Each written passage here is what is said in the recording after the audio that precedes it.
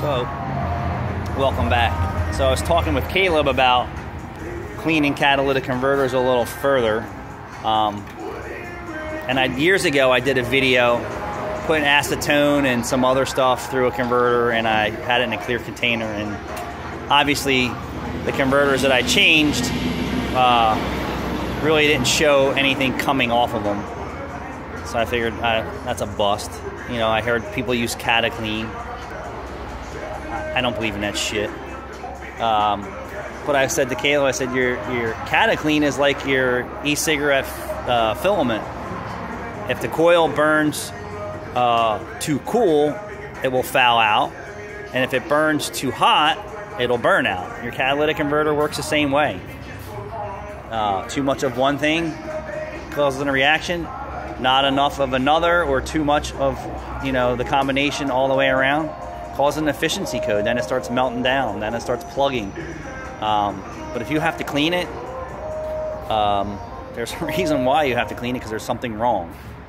So I wouldn't waste your time. You need to figure out what's wrong with the engine first before you continue to clean it. Unless you're just OCD and you want to make sure you have a clean catalytic converter for no reason. Um, but I would be careful what chemicals you use in there too because uh, it's precious metals. Uh, and you could deteriorate. Constant cleaning of a converter could deteriorate the, the stuff as well. Um, and and I would say there's very little to, to no proof that cleaning a catalytic converter does anything for you for you other than you've accomplished something, in my opinion.